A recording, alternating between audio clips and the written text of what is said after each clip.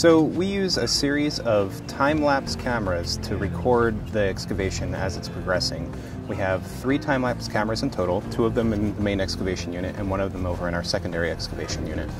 These time-lapse cameras take pictures every 10 seconds, so we end up with three pictures every 10 seconds.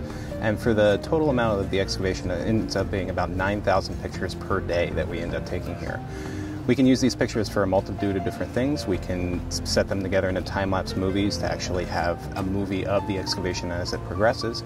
We can also use these time-lapse photos to go back and look at one specific time during the excavation to see what's actually happening at that point. So if we have questions about who is excavating what material back in the lab or when we're going through journal entries, we can go back and look at the actual excavation as it's progressing right there and get a really good record of what's happening during the excavation.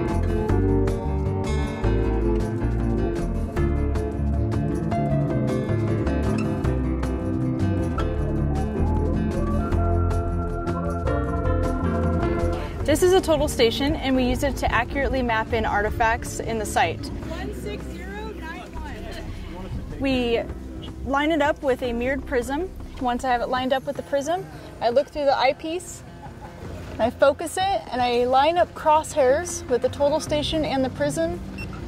I press for it to record, it shoots the laser out, laser comes back, gives me a northing, easting, and elevation of that point down to the millimeter accuracy. Once I have what I want, let's say I just mapped in some debitage, I select that code and then I press record and enter and it records the X, Y, and Z as raw data, which we then can correlate with our catalog. So all of the artifacts we find in the site in situ have location and description data all together.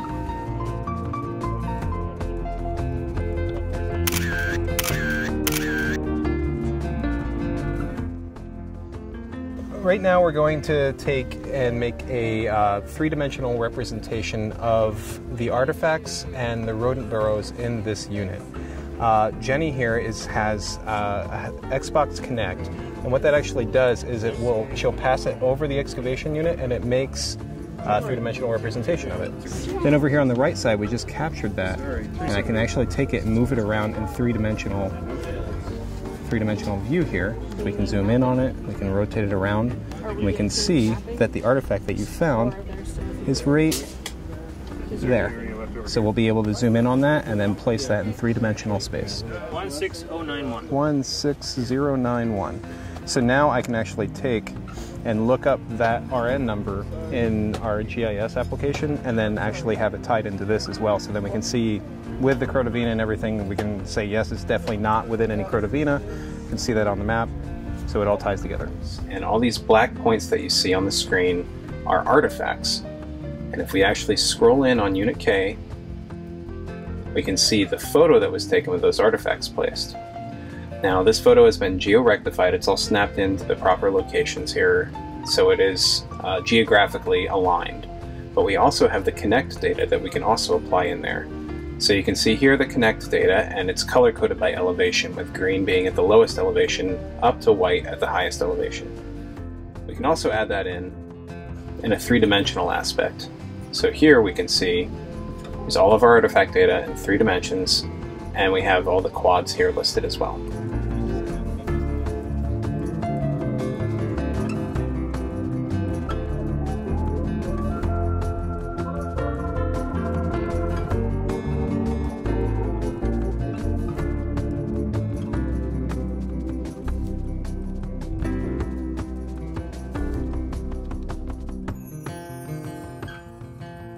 So when we find artifacts that come over here to the recordation station where they get entered into the catalog and a receipt like tag is generated. And this tag, you can see this label has on it a what's called a QR code. And a QR code is basically just a code that a uh, something like a smartphone can look at this and it knows exactly to go to a certain record related to this artifact.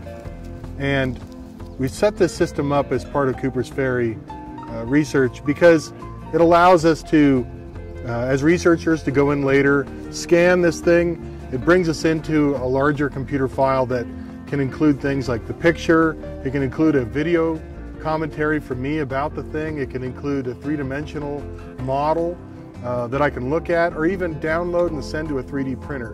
Basically, it's just sort of like an address to the database that contains all the information that we want to hold about this particular artifact from the site.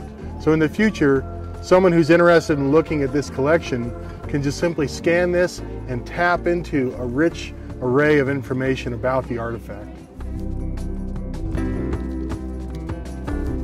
So uh, we have a bunch of laptops sitting out at the dig site, um, and they're connected over an intranet using a little uh, wireless access point or a, a WAP uh, back to the Archie server.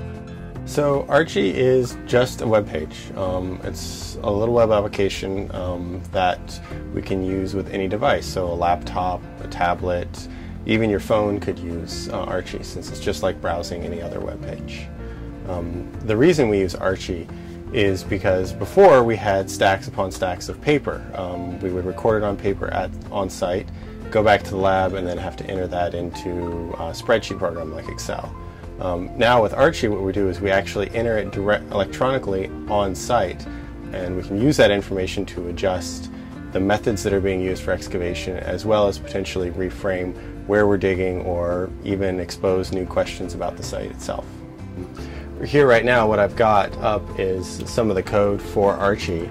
Um, I'm adding some uh, fields to the database and then I have my test install of Archie itself where I do all my development. So we use a Next Engine 3D scanner, which is a commercially available, one of the cheaper uh, scanners to use, but it's still quite powerful. And um, we use this to capture all the data about the artifacts, their form, their shape, and allows us to turn the three-dimensional form into computer language that can also be printed. So here's a tip of a biface that one of the students, Jenny, uh, found while excavating. And this scan can not only be used just for a visual uh, effect, but you can also look at the millions of data points that go along with the artifact, and that itself can be a unit of analysis. This technology is very useful to us because we can take very accurate measurements of artifacts and take the millions of data points that we wouldn't otherwise be able to collect from an artifact and use them as a very intensive unit of analysis.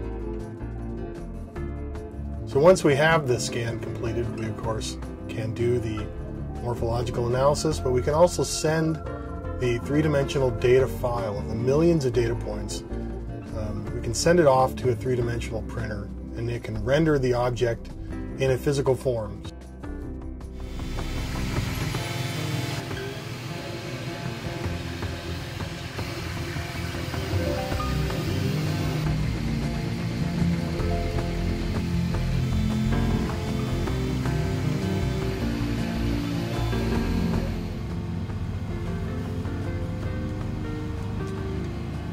Here we have the point completely printed. We have followed this point's life history from discovery all the way to being a teaching tool.